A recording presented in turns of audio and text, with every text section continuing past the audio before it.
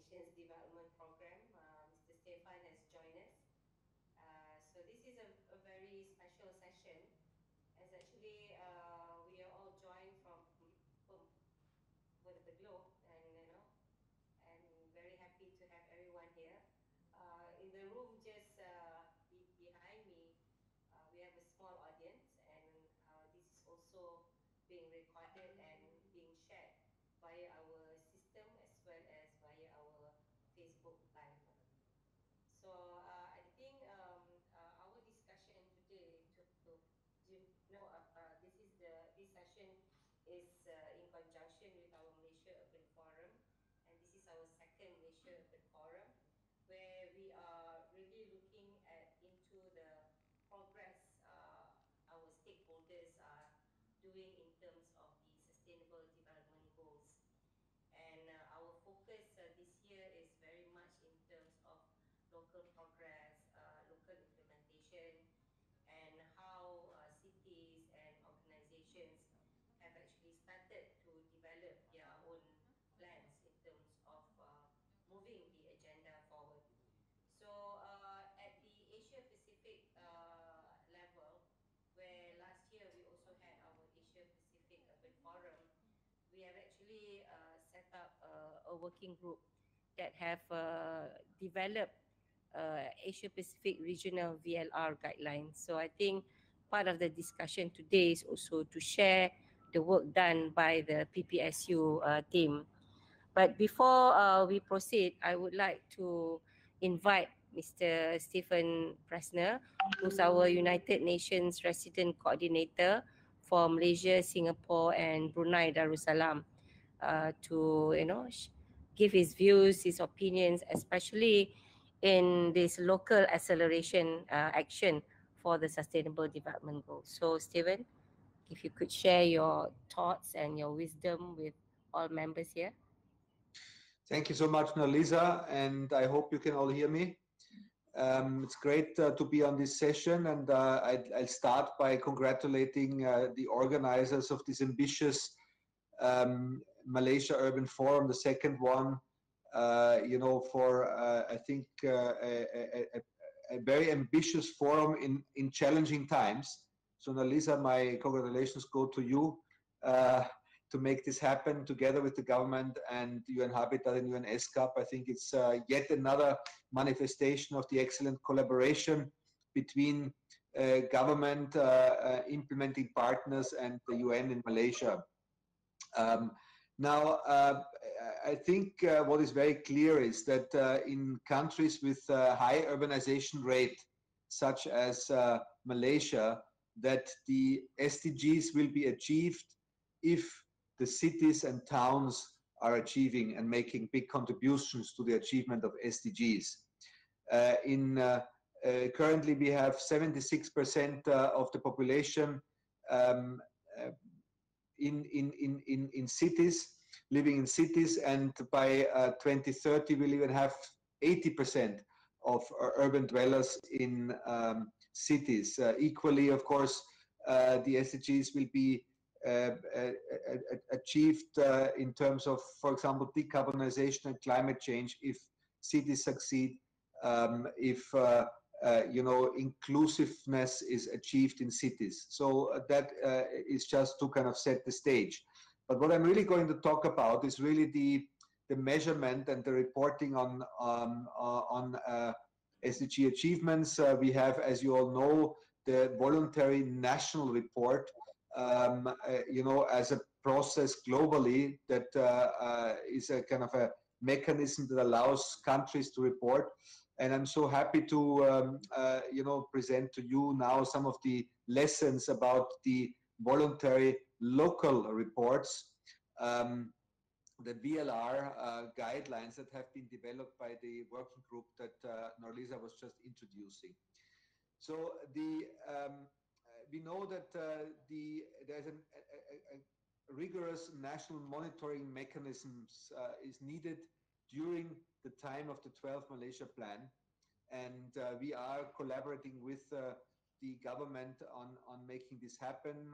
we're calling it the the national progress uh, SDG progress uh, monitoring, um, and that is happening. But uh, it, we need to break this down at city level um, to really see how cities are doing with regard to the achievement uh, of uh, the SDGs, how they are doing with regard to SDG localization.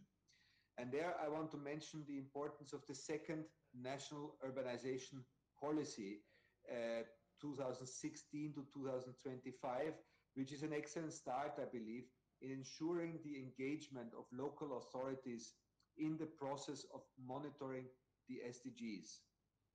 Uh, I'd like to upfront comment uh, some of the forerunner cities, including Penang, Seberang Perai, Shah Alam, Subang Jaya uh, in Malaysia that have been leading the way in exploring uh, the important development of such a, a, a tool, the, the, the, voluntary local report.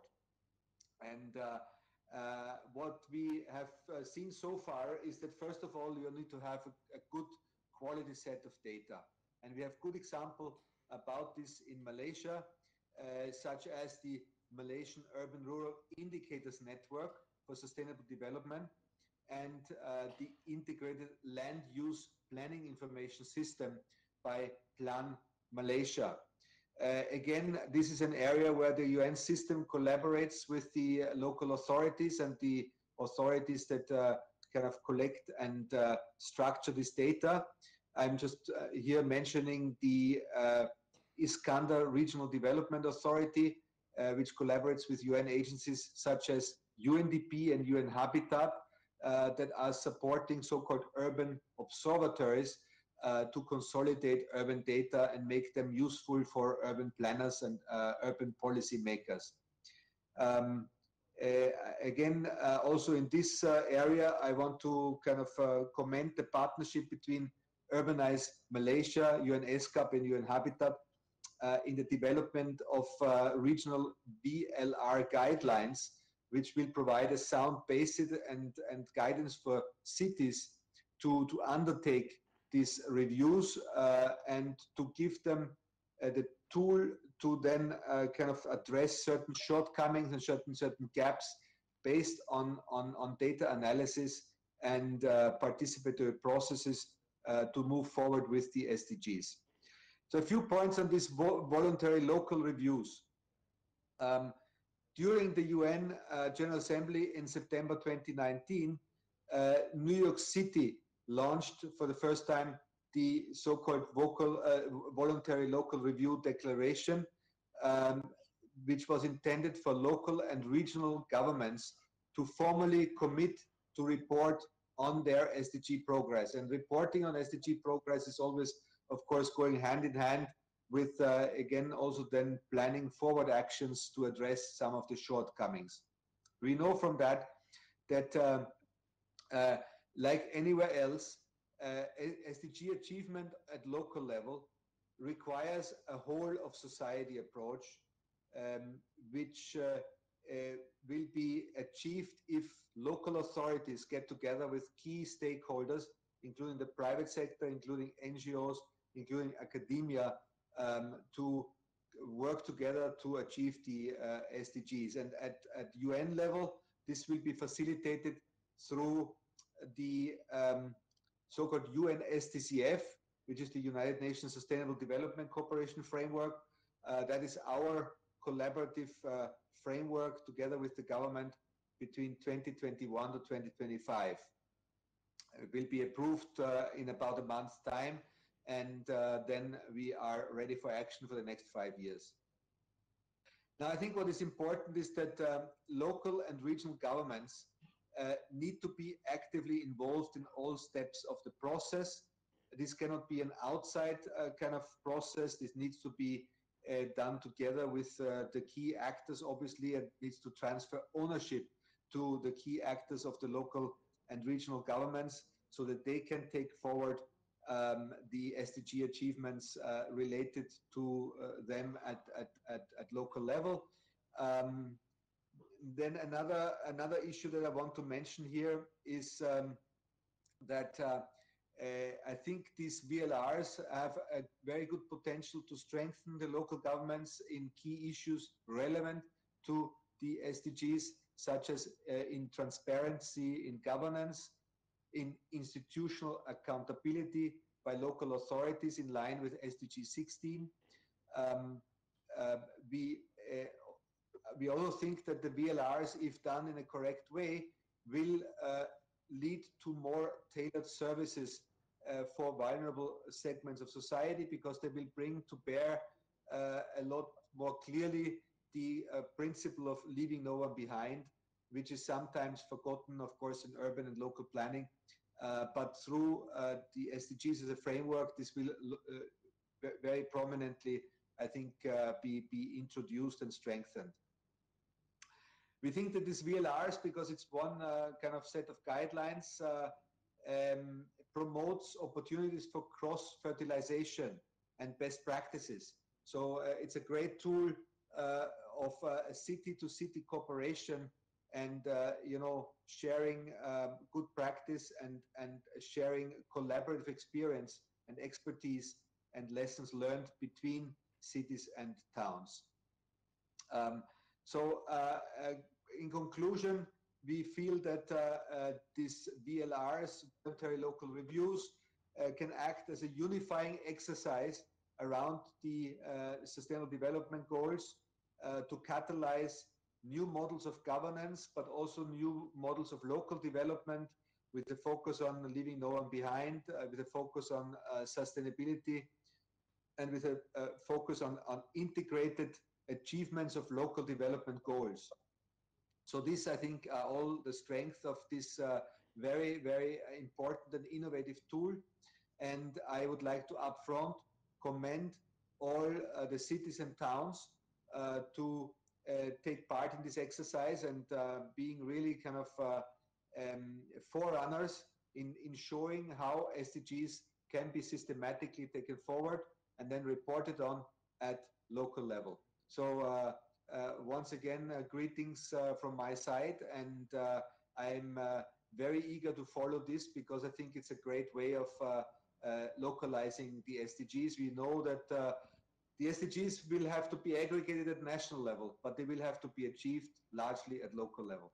Thank you very much, Norliza, and greetings to all. Thank you very much, Stefan.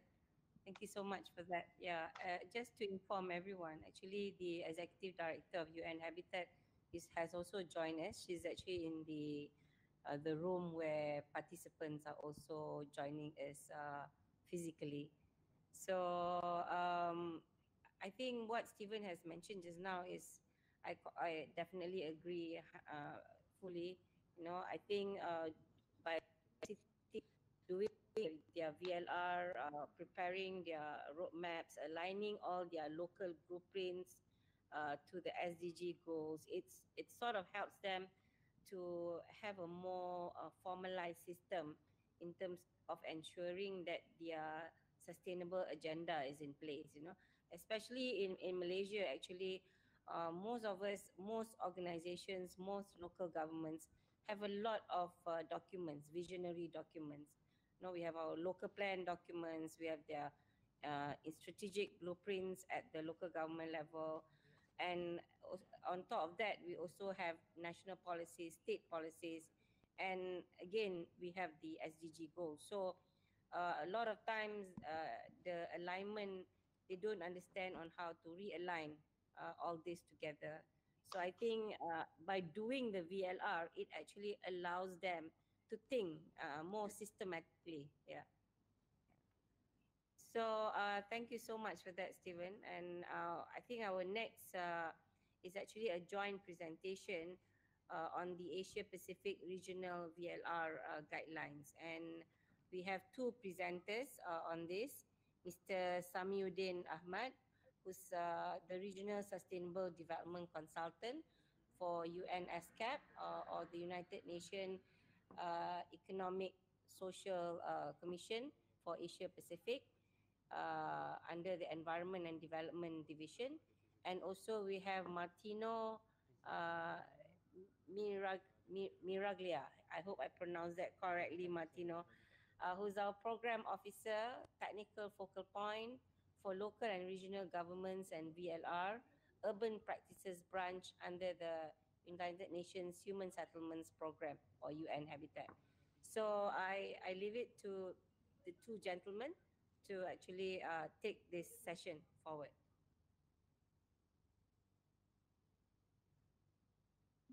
Um, thank you. Uh, thank you, Madam Norliza. Um, can everyone hear me? Yes, Sami, we can hear you. Great. Uh, let me quickly um, try to get my presentation on here. Um, sorry, just uh, a minute. This is a very new platform for me.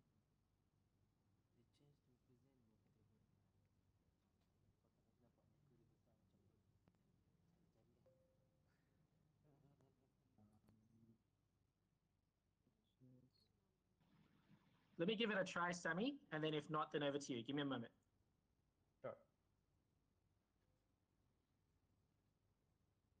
Uh, do you see my screen?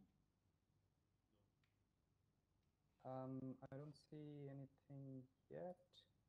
Not Uh, yet. Okay, give me a second then. Um, then I'll do it here. Uh, this one.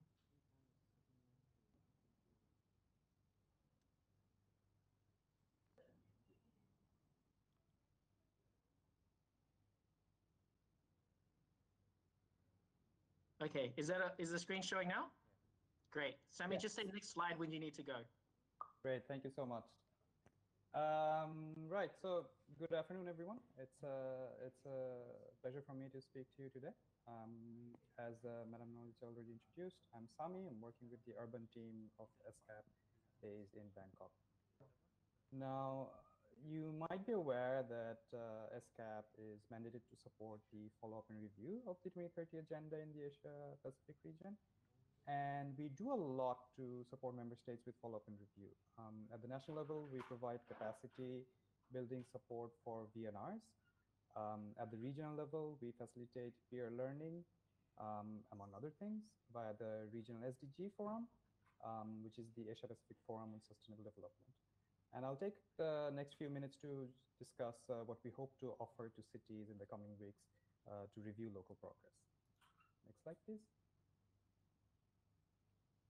Now, just to very briefly go through uh, what this initiative is about, um, the, the Asia Pacific Regional VLR Guideline is being jointly undertaken with the Penang Platform for Sustainable Urbanization, or PPSU, of which ESCAP, UN Habitat, uh, and Urbanice are a part of, and it also includes other partners such as UCLG ASPAC, IGES, uh, UNDP, and others.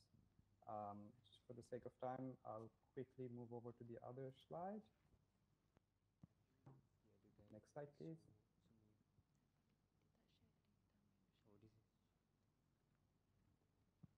Thank you. So before going into the guidelines themselves, just to give a very quick primer on what exactly a voluntary local review is.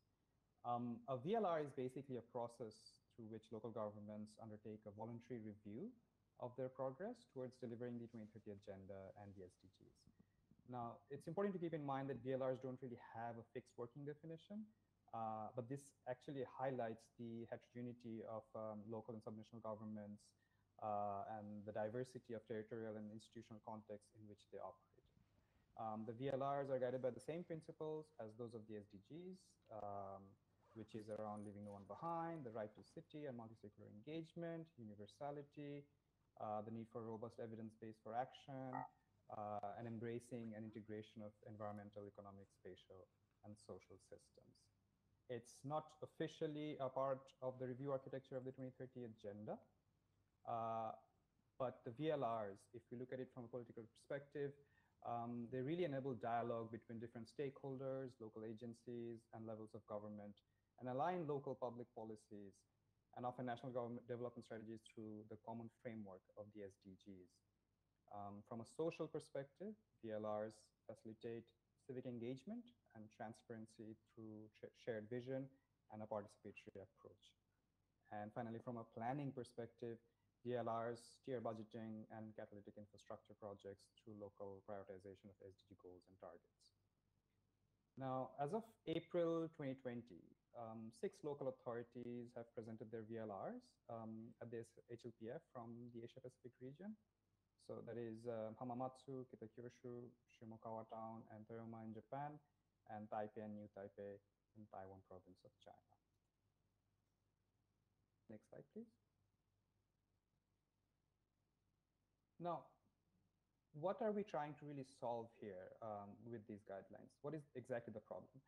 Many cities in Asia and the Pacific don't even don't really know what the SDGs are, let alone what a voluntary local review is they're not fully sold on the idea of why they should conduct one. And even if they wanted to do a VLR, who is really supposed to be in charge? How are they supposed to go about it? Um, can they do it whenever they please? So all this refers to a clear lack of guidance for cities on how to do a review of local SDG progress. Next slide, please.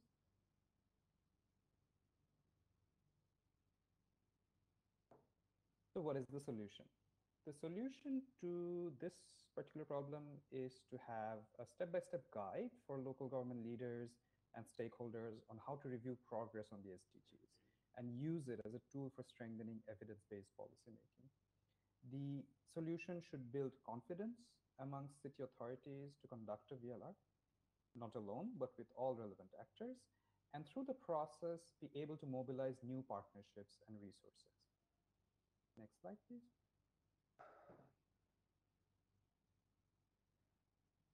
Now, ESCAP, together with the other PPSU members, is finalizing the development of the regional guideline on VLRs, as was mentioned.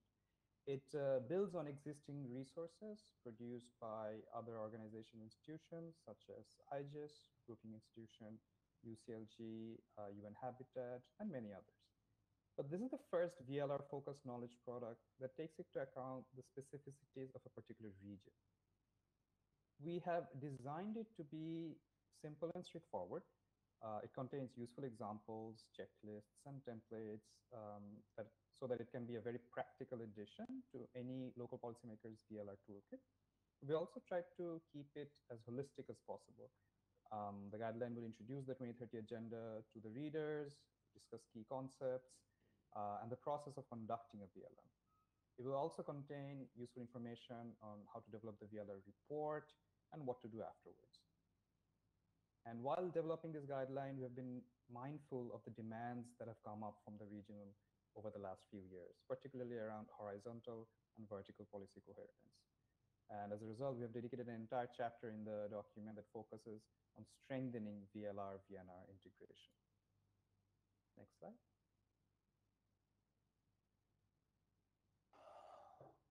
What are some of the key messages that have come out from the um, process of developing this guideline? Firstly, around institutional ownership and arrangement, we see that there is a clear need for showcasing political support.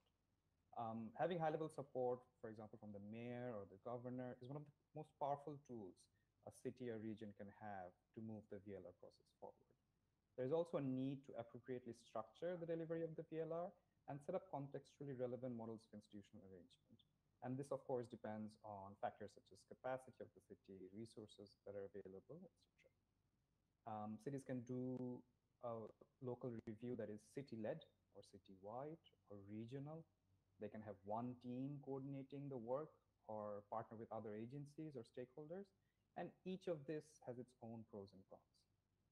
Um, we see uh, from VLRs uh, that have already been produced uh, that cities should map their existing policies and strategies against all 17 SDGs uh, because this offers better comparability. Um, cities can also do this against the five pillars of sustainable development, so which is people, prosperity, planet, partnership, and peace. Um, we see that cities need to develop robust stakeholder engagement plans um, that engage stakeholders in a meaningful way. And particular attention um, should be paid to vulnerable groups, uh, which, is, which is of key concern in the Asia Pacific region particularly. Um, cities can also choose to set their own indicators uh, to collect data or adopt existing sets. Um, um, there, uh, there are sets produced by UN Habitat, the UN uh, Regional Commission for Europe, uh, and other organizations that cities have already adapted to some extent. And we see that VLR VNR integration holds many benefits for both local and national governments.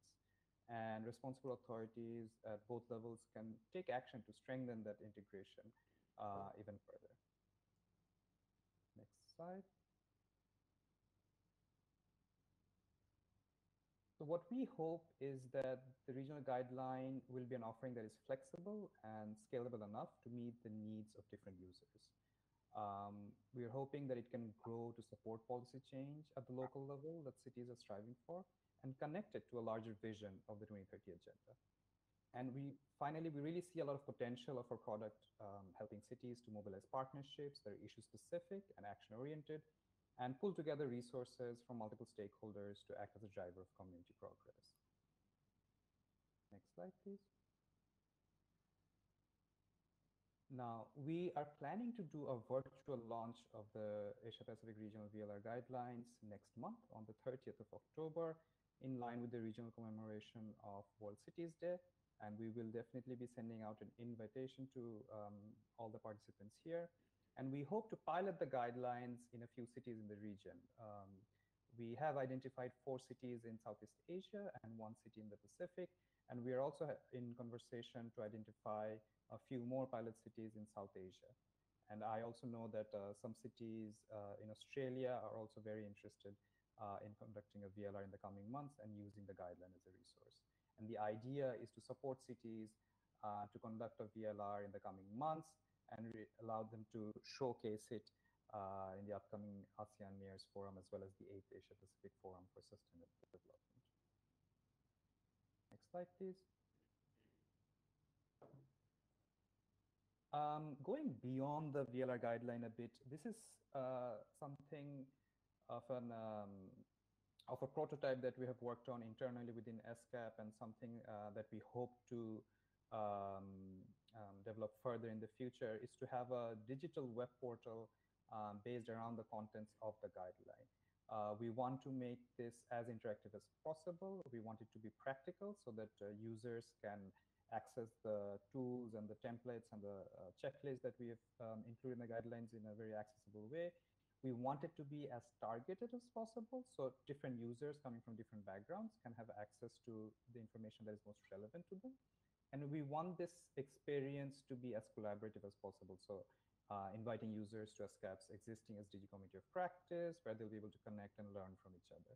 This is very much at a prototype stage still, but this is something that we're very eager to build on further. Next slide. And that's it. That's it from my end. Um, sorry for the very quick run through of the presentation. Um, just keeping an eye on the clock here. Uh, happy to answer any questions that anyone might have in during the Q&A session. Thank you.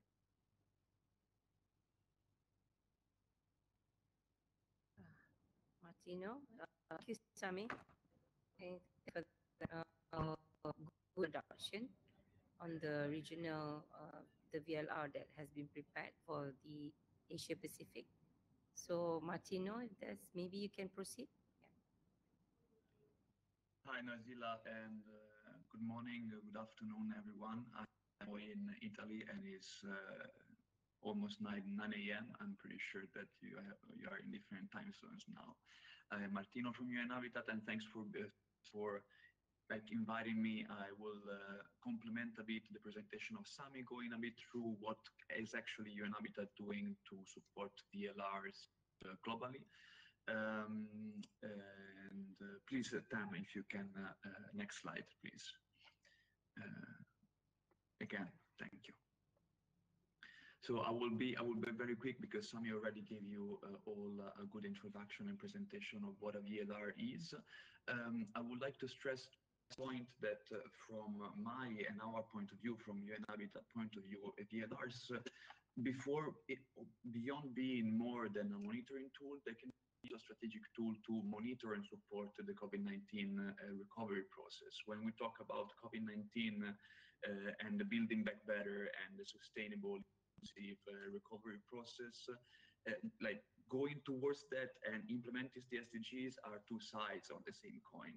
So VLRs can actually mm, mm, I say, present and uh, uh, give some kind of evidence uh, to local and regional governments and, and furthermore to national ones to forward in this building back, back, back better process. So they're very important monitoring monitoring tools also for the region.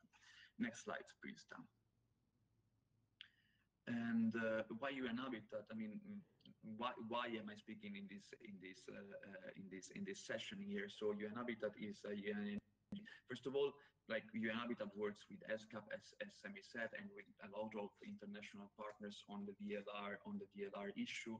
And why? Because we are agency uh, that uh, lead the work with local and regional governments based on unique expertise on urbanization, territorial development, um, that includes also monitoring evaluation uh, processes. Uh, within the VLR context, we work as an intermediary body between uh, the cities and UNCG we collect VLRs and we make sure that they feed into the relevant uh, UN uh, UN processes and uh, to share them to share those VLRs also with the agencies such as UNDESA, which is a bit the custodian of of the reporting of the official reporting process within within the UN. Mm, experience in supporting VLRs, and therefore we have developed a fully fledged methodology on how to conduct them. And again, we, we building on the fact that VLRs are more than a monitoring tool. We, we, we see them and we look at them as something that are part of a more comprehensive approach uh, towards the SDG localization. So um, local and regional governments should not look and uh, turn towards the, the SDGs to conduct a VLR, they should conduct a VLR because they want to implement the SDGs. So the reasoning is the opposite. Uh, Tam, the next one, please. So uh, what I uh, what I would like here to just, just to highlight very quickly is uh, that to complement also what Sami said, UN Habitat has a set of uh, as a comprehensive approach and a set of tools service of local regional governments and uh, uh, and cities that can help the SDG localization and where the VLRs and the data analysis and monitoring evaluation holds a central role. Uh, so the first one, the next slide, please, then, uh, the first uh, the first point is the global monitoring framework, as you know, and in the different talks and uh, sharing that we had with with local with that we have daily with local and regional governments, the main issue sometimes and most of the times is data availability and management. So what UN Habitat now, UN Habitat now is coordinating and is trying to to create a global urban monitoring framework that will try to harmonize the existing urban indexes and tools so to create a, a solid single framework to be then uh, validated and endorsed by the UN uh, Statistical Commission to measure to measure the SDGs and the new urban uh, agenda related progresses at the local level.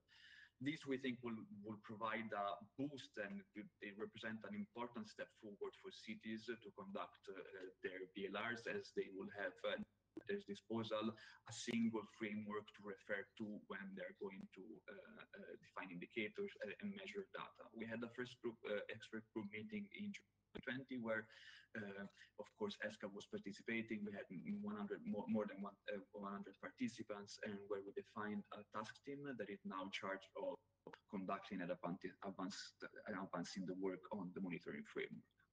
Next one please. The second point of this uh, approach that goes from data to impact and to projects uh, is the technical assistance and the knowledge development, where we are kind of uh, where we find ourselves a bit today. Um, um, uh, UN Habitat like provides direct assistance to voluntary to uh, cities to develop their voluntary local reviews. We are doing it now with Moscow with Moscow, and uh, we are we are starting to do it uh, to do it with Florence uh, in Italy. Uh, we also, together with international partners, we also development of normative guidance and knowledge resources, and such as the partnership that with UCLG, um, the VLR series we called that we launched in uh, July 2020.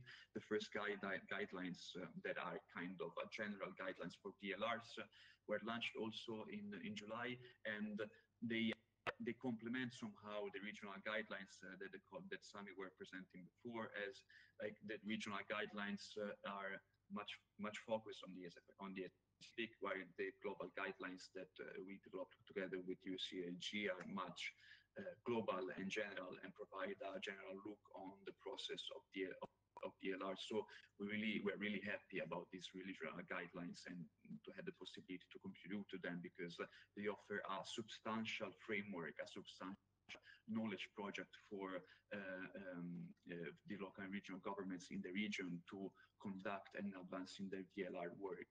Um, the work uh, allowed us to develop a comprehensive methodology. So everything that we do is based on a strategy, is based on experience.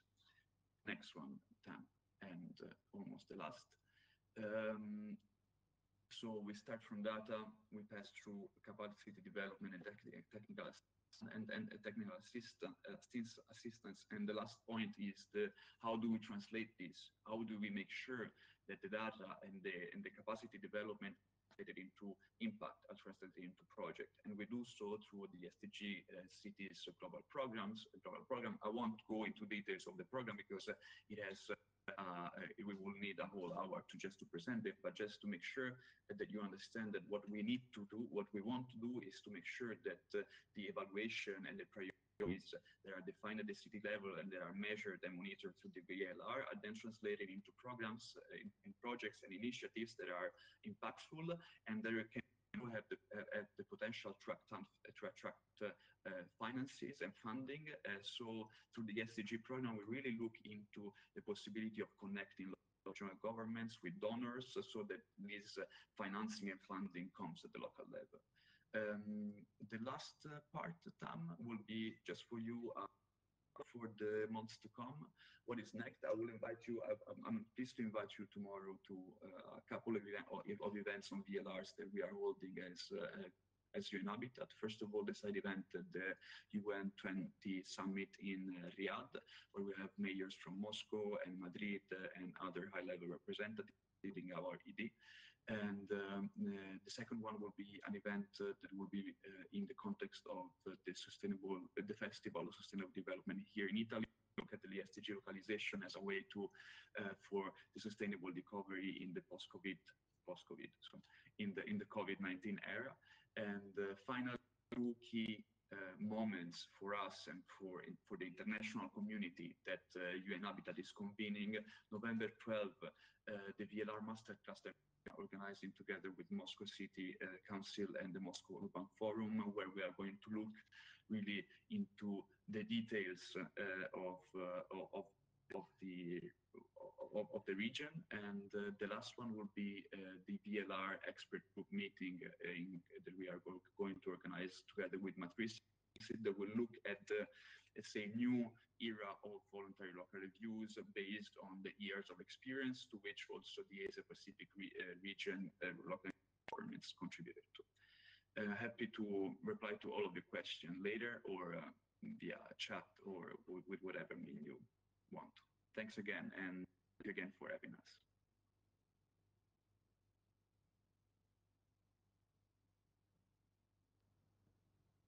Thank you, Martin. Um, thank you for sharing that. Um, yeah, I think it's very important and uh, it's actually very much in line with what uh, we are doing also in Malaysia. Today, uh, we also delivered to our Prime Minister uh, Malaysia as cities. Uh, we in Malaysia, we are trying uh, very hard for our cities not to just go straight into the VLR process. I mean, uh, mainly because uh, we wanted them to ensure that whatever local blueprints that they have, uh, we should try to realign it first. And then from there, they go on into doing a VLR reporting. Uh, we are a little bit worried if they go straight into a VLR process, they might think that it's two different documents. Uh, we want it to be uh, more holistic in terms of ensuring that the sustainable development goals are embedded in in the work that they do you know so that's especially in their policy documents in their action plans and so forth. I think this is uh, something that we can for, for the discussion level. Uh, but uh, but definitely thank you very much. And i'm wondering whether these uh, events that you are having is it open or, or it's actually very just close to uh, Moscow and and the and Italy, or is it open to everyone? So uh, the to, tomorrow the U20 and the Festival of Sustainable Development are public events. Uh, the other two events in November and December, those they are closed as meetings but still there will be upon invitation. So every participant that is willing to participate and to contribute substantially to the discussion will be more than happy. Will be more than happy to have them. Yeah. Okay. We want okay. to keep them close just because it's like it's a substantial discussion to advance actually the global process on VLRs. So it's not an it's not per se where we have panelists, but it's more a internal discussion and meeting. Yeah. All right. Thank you. Yeah. We we could then we can share the September 30th uh, program yeah with our stakeholders yeah thank you so i think in the in the in our program um, is we have a panel discussion i'm going to cover two things here one is the examples vlr examples that we have from asia and the pacific and secondly is of course to uh, speak about some of the sdg progress in malaysia so uh, maybe we could hear from Junichi. Junichi from the program director of the for of IGES. Is Junichi online?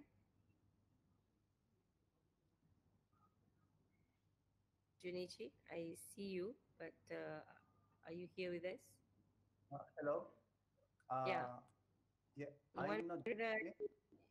Yeah, I'm, I'm wondering whether you would like to share with us some of the work that IGES has done since the the uh, most of the VLR done for Asia Pacific is actually a lot of it is from the Japanese cities. Yes. Um, hello. So I am Fernando Ortiz. I work uh, with Fujino with Fujino-san, which okay. unfortunately there are some technical problems, so his microphone is not working at all. So I will step in to try to to uh, to do the presentation for him. So I'm very sorry for for this sudden change of plans, but I will try to do my best to fulfill Fujino's Fujino's role. This is what we call teamwork. Huh? Yes. So. So anyway, thank you very much again for this wonderful opportunity, both in behalf of Fujino, uh, Fujino-san and on myself, and for everybody working on on IGES on the work on on VLRs and SDGs. So I am going to briefly introduce IGES work on VLRs and the different steps we have been talking, and also just before I'm going to share that I didn't have the time to include to include it into the slides a link to to one of our latest activities that there was the first webinar on VLRs made in Japan, which took place on September 19th. And this webinar to, brought together many cities in Japan, part of the SDG frontrunner cities, uh, cities which has made a have conducted a VLR to discuss the future of this movement. And even UNDESA made um, a, a, video message to take part into this uh, webinar. So please, next slide. So indeed, I mean, in in IGES, we we have been very involved into the VLR movement. So uh, I just authored, uh, collaborated with uh, three of the first VLRs published in 2018. So the city of Kitakyushu, the city of Toyama, and the town of Shimokawa, which is, I think that to date is the smallest municipality to conduct a VLR. And also in 2019, the VLR of Hamamatsu city. And we also have an online platform, the Voluntary Local Review Lab, VLR Lab hosted by IGES, which we bring together all the different VLRs that has been published. And we are also gathering other materials to support the development of VLR. We also have a, uh, the Shimokawa method for VLRs. So based on the experience of Shimokawa town, um, how cities can take into the VLR and a step-by-step -step guideline based on this um, particular case, as well as the State of Voluntary Local Reviews 2020, which review, which is a document that reviews 16 different VLRs uh, published up to April 2020, which brings together um, the learnings from all these different, and it has one of the advantages, like it also reviews VLRs written in languages other than English, so including Spanish and Portuguese, which might be not available to other people working on the issue. So next slide, please. Um, so this is the, the, the preview, the screen caption from our online voluntary local review VLR lab.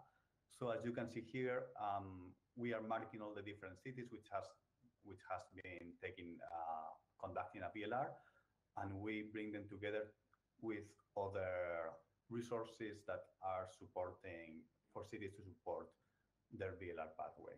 So next, please. And now uh, I will focus on two of our most recent publications. Uh, I'm, no? Okay, so we, I don't know, that this slide in my computer shows the cover of the State of the Voluntary Local Reviews 2020. So sorry for again for another uh, tech problem. So it's not showing. It's okay. We, you, you can go to the next one.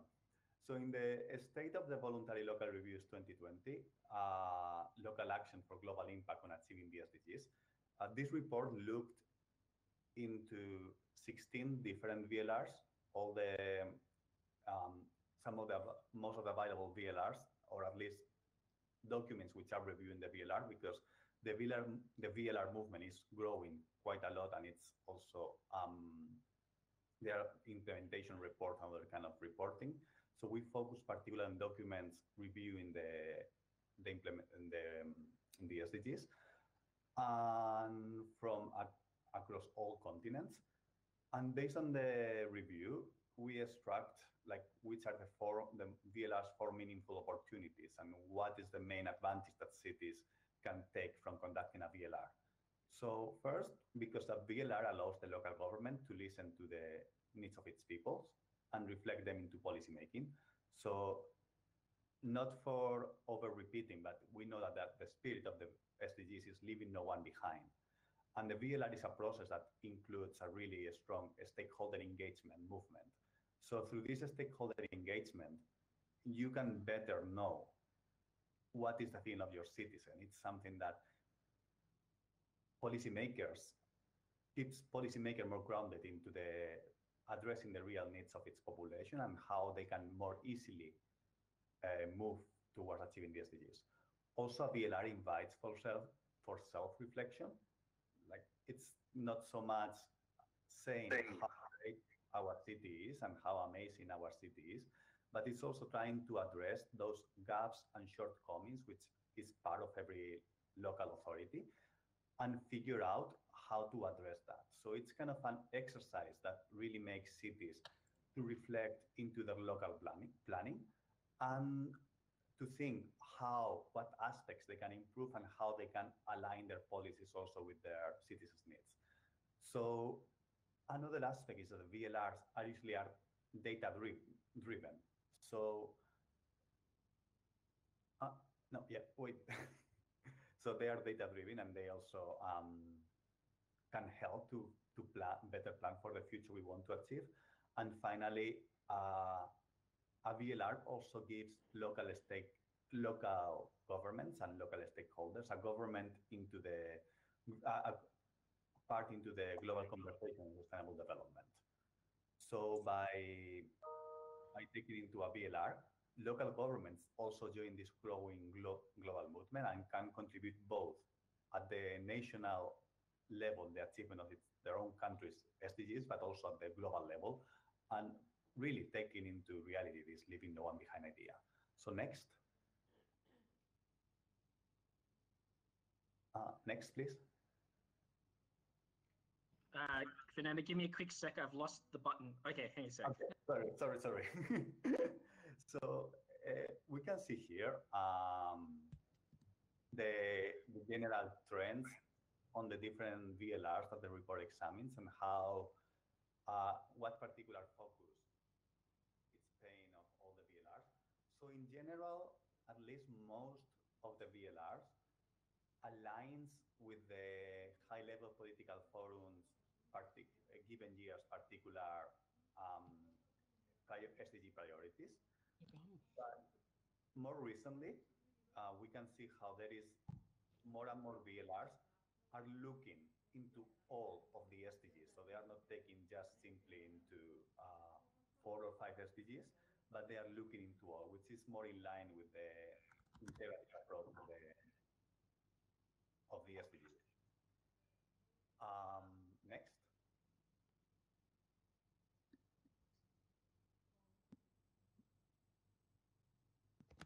Um, and in this slide, what we can we can see as the different elements that one of the one of the part of this report analyzed was the main components of each VLR, and which are then which are the emphasis that different VLRs are paying in comparison with the guidelines also for the national voluntary reviews. And we can see how one of the um, one of the problems that we found is that not so many there is a growing number of VLRs that we would like to say that they are not really paying attention to means of implementation, which is somehow problematic. But in general, like we can see how most of the VLRs are following all the different steps that are encouraged by also for the national level governments. Next. So based on this, uh, I just have developed a five-tier approach, which revolves about five different five key pillars that involve all different actors. So first, looking into the local administration. Second, looking into the local communities and citizens. Third, uh, cities are not alone. So cities need to look wider to their both to their region and the and other cities surrounding them. First to the national government and then to the global community. Next. And then we also published the Shimokawa method for voluntary local reviews, which is based on Shimokawa's experience Next slide, please. So why we chose Shimokawa because we think it's a paradigmatic example that of a, a small town in one of the most remote and isolated areas of Japan, in Hokkaido, uh, way up north, which is just with 3,500 people, and they took this challenge of the of taking the VLR, which brings a different story to that of other larger cities, kind of New York or LA, or which has a larger budget and can have a larger teams to conduct the VLR. Next. So the Shimokawa method for voluntary local reviews, it's based on 10 different steps, which are kind of scaffolding all the different levels to of how the VLR process uh, uh,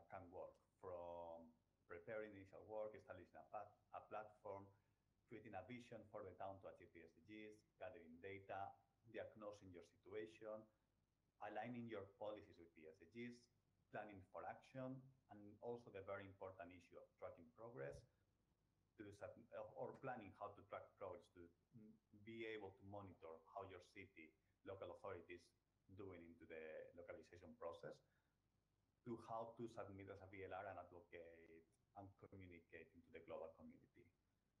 So thanks. Uh, next. So this was just to another slide. Oh yeah, finally.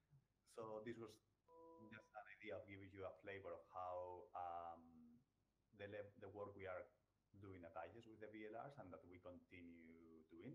I am happy to answer any questions through the chat in person, or if not, just drop me an email and, and I will be more than happy to get into you and discuss any issue that you may have.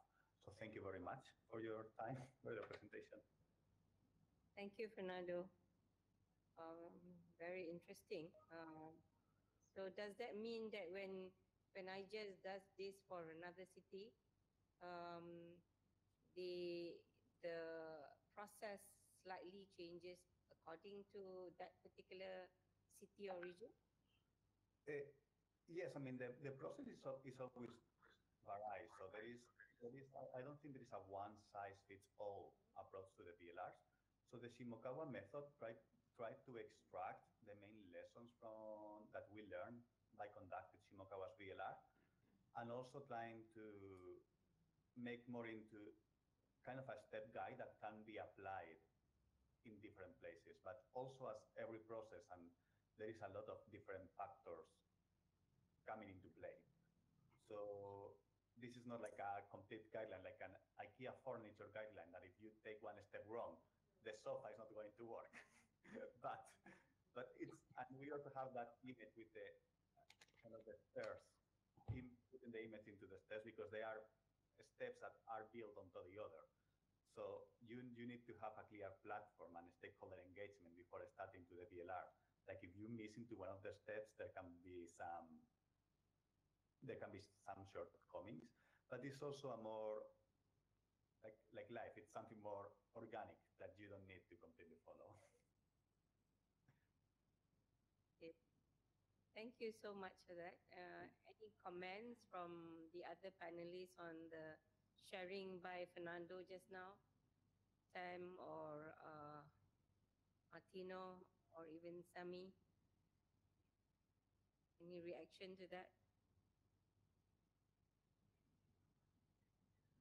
Well, if I if I just add and stress what Fernando was saying, it is very important uh, because we are talking we are we're always talking about guidelines. We are always talking about guidances. So and uh, it is it is important what Fernando said that uh, VLRs at the end of the day are owned and should reflect what the what the local context.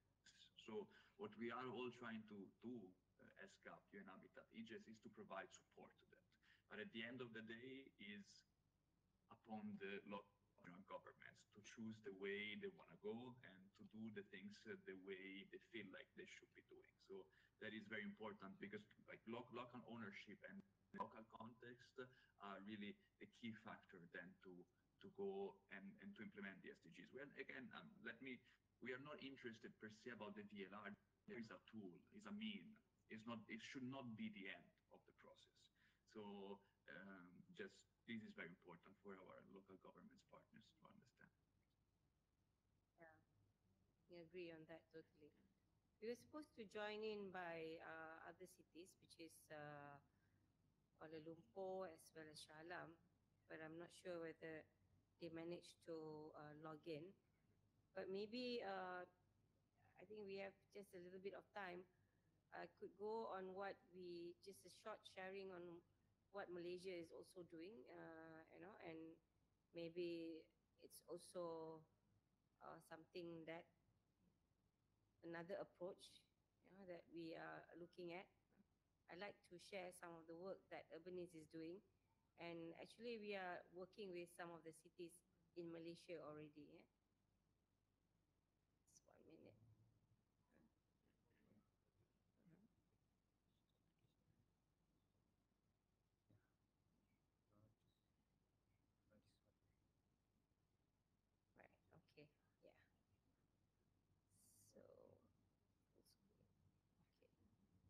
So yeah, this is our Malaysia SDG cities. Um, like I say that you know we didn't we didn't want to say that you know um, do a VLR because we need something that to to try to localize it as much as possible uh, in terms of process that we are doing.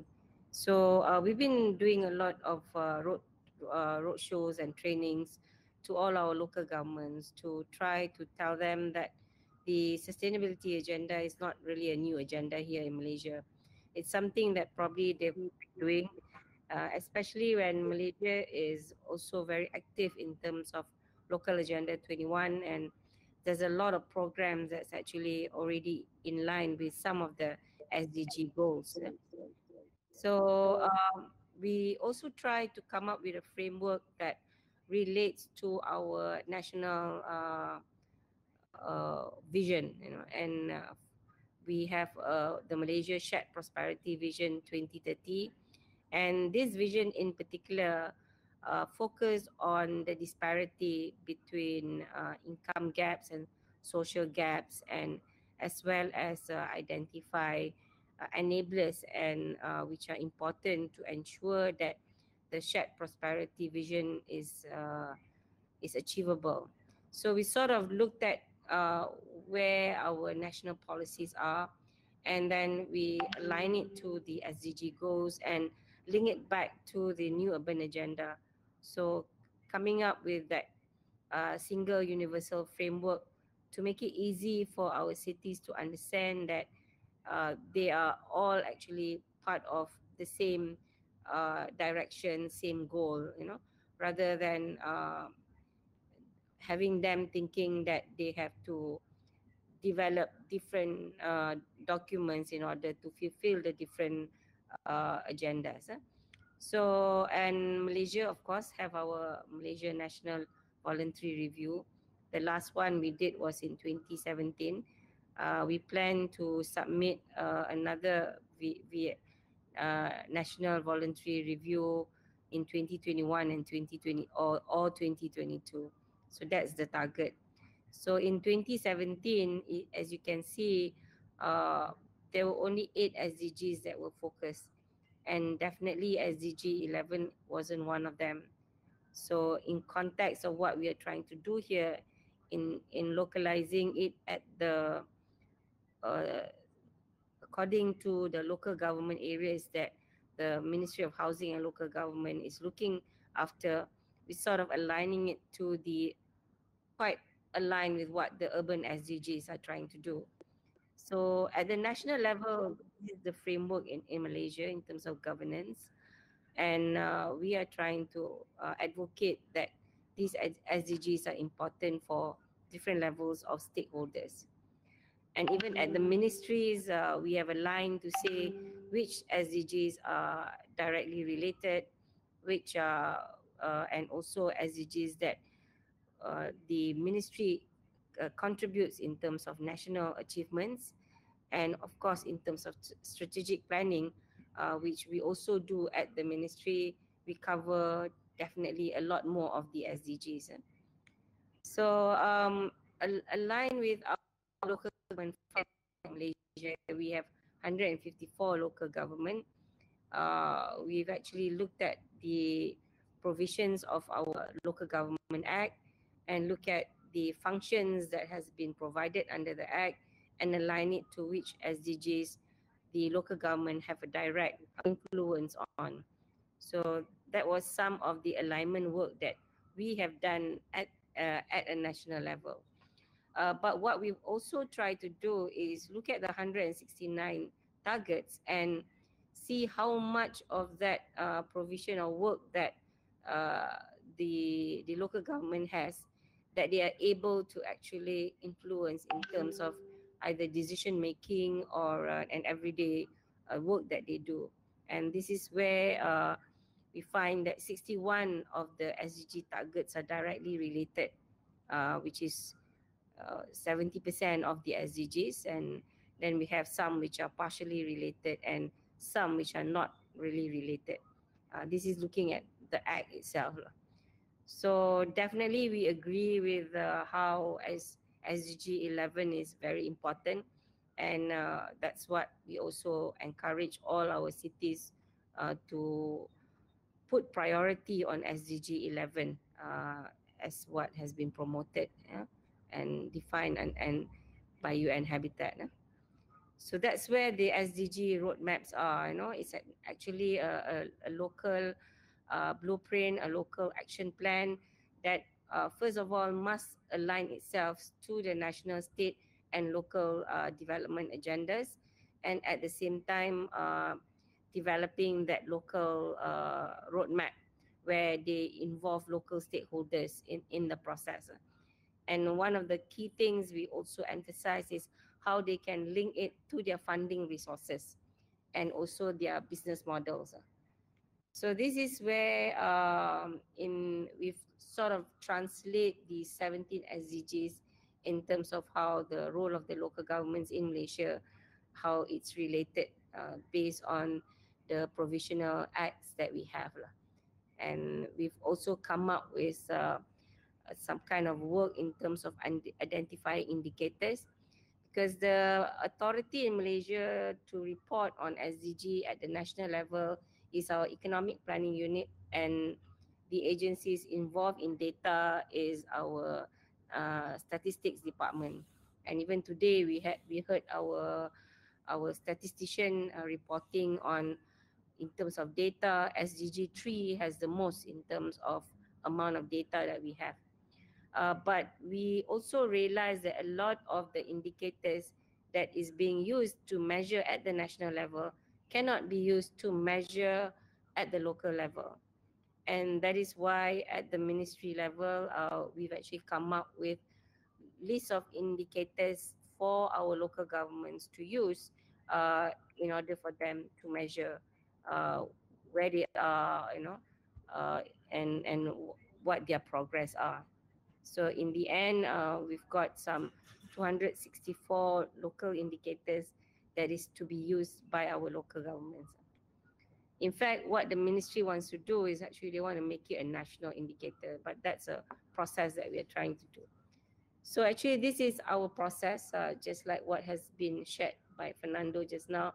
But we sort of simplified our process here. Uh, we call it the three plus one step. Uh, the first step is to relook back at uh, the baselines, doing the mapping and alignment and understanding the gaps. Uh, secondly is to look at revisit their visions, you know, uh, relook at their priorities and then only they, they start to uh, develop their SDG local actions and roadmaps. And after that, uh, that's where we encourage the cities who have already done their SDG uh, roadmaps to, to actually embark on the next journey, which is the VLR, where the commitments is actually uh, uh, to look at uh, which SDG they, which is most ready for them to to share uh, and also to align it with the, the global goals. So that's uh, the process that actually we've done. And in fact, we've, we've done it for Shah Alam, we've actually uh, done a measurement from for them and uh, yeah actually it's quite an interesting process lah.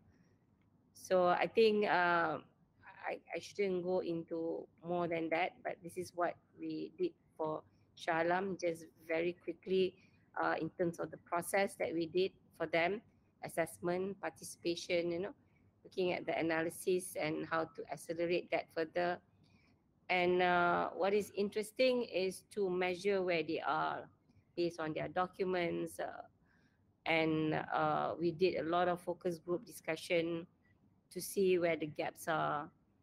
And uh, yeah, so this was their first where they are in terms of trying to know which SDG is a priority, where they where they think it is a priority, but they've not actually done anything.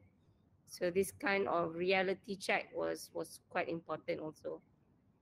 So i think um, yeah that that's uh, how we've approached it for malaysia. And uh, even for shah alam and now they are finalizing their roadmap and hopefully they'll be one of the first city to actually uh, do the VLR.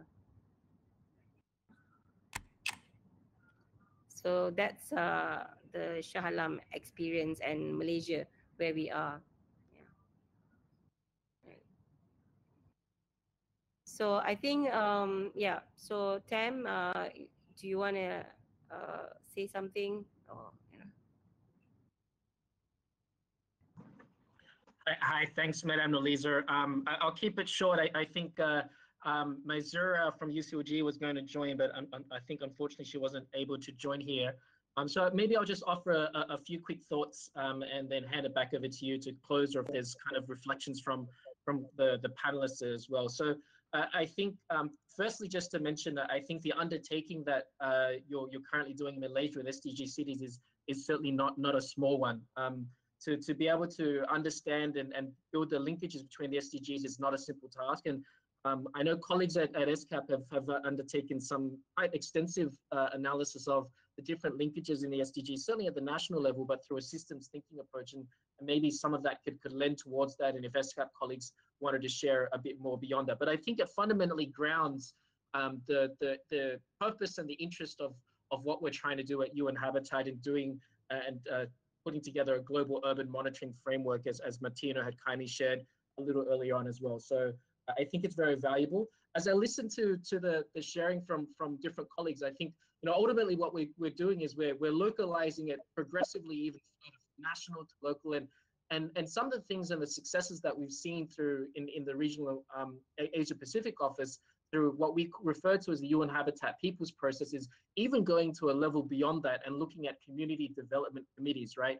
Um, in Malaysia, there's been some good examples. I mean, there was MerniNet that was shared by Stefan earlier on, looking at village level and, and township level. So, you know, how how how local do we go? And, and maybe because it, it's that local um, spirit and, and like enthusiasm from the cities that ultimately will support implementation of the VLR as well. So maybe we need to go down a level deeper. And then another reflection that I have in terms of this process is I've made, maybe building on on the, this point from Fernando. I, I really valued the, the concept of the VLR from the perspective of self-reflection.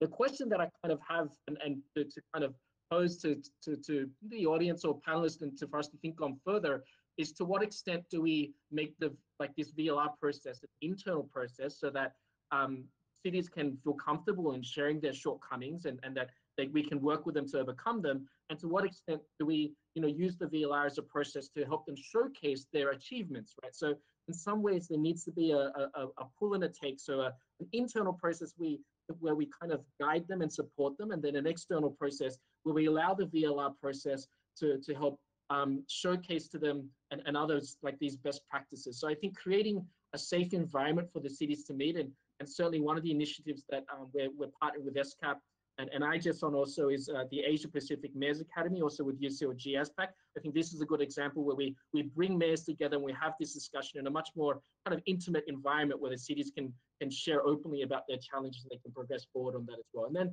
the final reflection that I had is really about this point about harmonizing existing urban indexes, right? So I think this is going to be an ongoing challenge. I, I, I kind of um, building upon, again, the point from Fernando around data driven, you know, we have this opportunity in Malaysia um, with the National Housing and Population Census, right? And so how do we utilize that census to, to capture the information that we need and build the foundation for the next years to come so that the census informs our work in terms of VLR as well. So these are some of the reflections that I had, and uh, I really appreciated the time from the panelists in, in sharing with that, and and uh, look forward and continue our collaboration with, with partners on this further. And uh, um, if you, if Maizura is on the line, then feel free to comment um, if not, handing back over to you, Madam Norliza. Thank you. Uh, Maizura, are you online with us? Some of the people online have numbers and like Martino is a 136136. so yeah, so some doesn't have a name. Okay, um, don't I don't hear her. So anyway, um, I think it has been a great uh, sharing. Uh, it's a first good step, I think, uh, what work has been done through the uh, Penang platform for sustainable urbanization, PPSU group, and uh, which uh, Fernando, uh, which Sammy had actually presented just now. And of course, the sharing by IGES and of course by Martino on work and UN Habitat. I think it's very similar, uh, definitely. Uh, everyone's the objectives are very similar, uh, and what is very important is that uh, why the cities must understand. For me, is they need to understand why they're doing the VLR. You know, how is it important? I think once they understand what the VLR can do for them, then it will be a, a document which they will uh, not only will it be unique to them, but it's something that they will follow through. Uh, our challenge in Malaysia is that we don't want them to prepare documents that um, is being because they've been instructed to do it, you know, rather than they realize that it's important for them, uh, that it could assist them in their everyday work. Uh, that's why uh, I think it, whatever whichever cities that's doing a VLR, uh, that that understanding is you know the like Sammy have said who, what, why, you know. I think those questions are, are really important uh, for cities to understand. So I, I am uh, I think we've also come almost to the end of our time uh, because we've allocated just one hour for for this.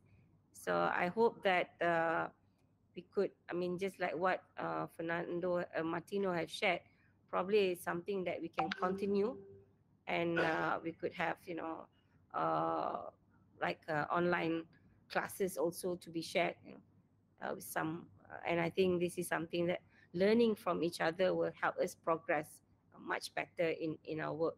Because definitely the VLR is not mandatory uh, and, you know, there's no real process also written for it yet. And I think we are all learning from each other. We learn a lot from New York. We we've been online with them with EU. We've been talking to many people uh, before we started our own journey, and I think um, the experience that we went through and the experience from all the panelists today is something that should be shared so that it be faster with with just 10 years down the road. So, um, uh, any last words from anyone before we uh, close the session? Yeah, maybe to say uh, thank you, Nazila. Absolutely uh, agreed on the on the on the need for sharing, for partnership, for networking, for mm-hmm. pulling our common knowledge and uh, and resources to to push this, this agenda forward. And let me go back to the uh, to the meeting I've shared before. Those will be surely some of the appointments where you, you will be invited as organization working on VLRs. We hope to have is working on that.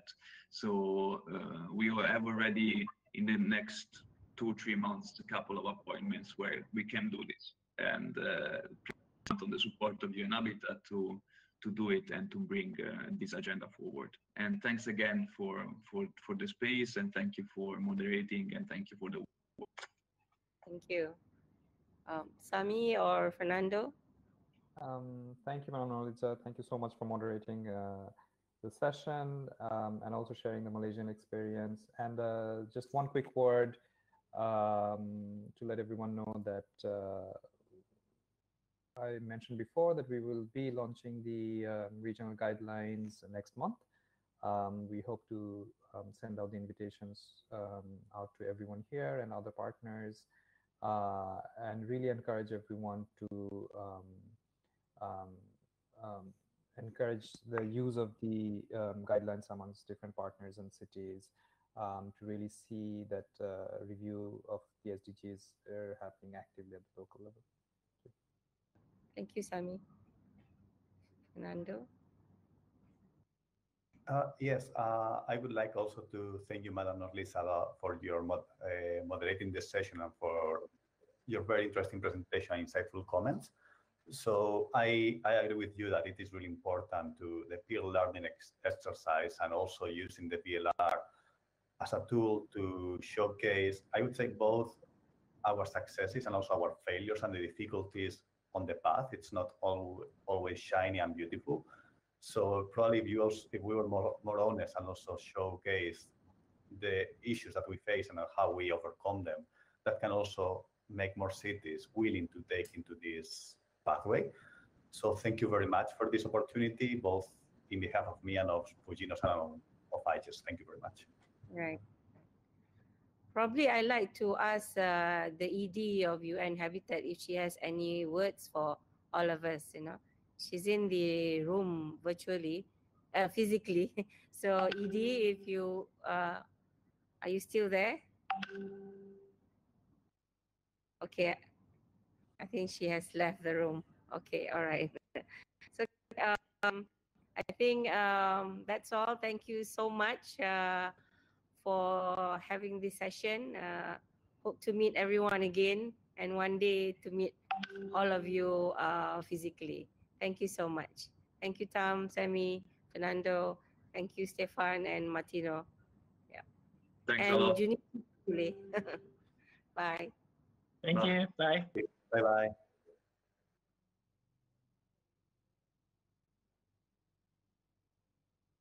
Boleh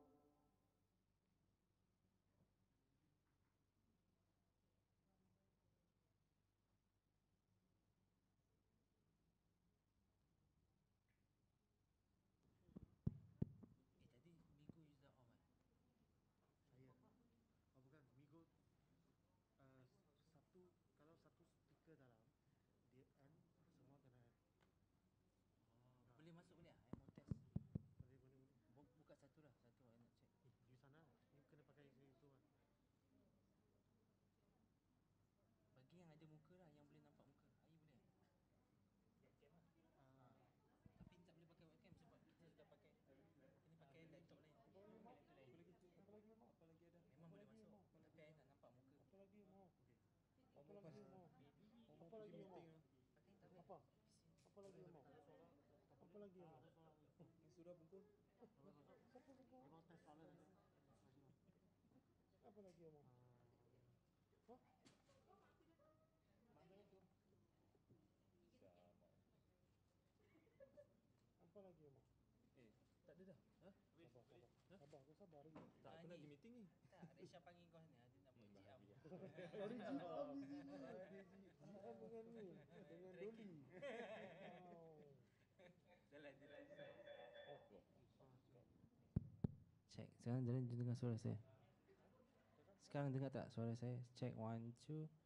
Test one two three four five six seven. One two.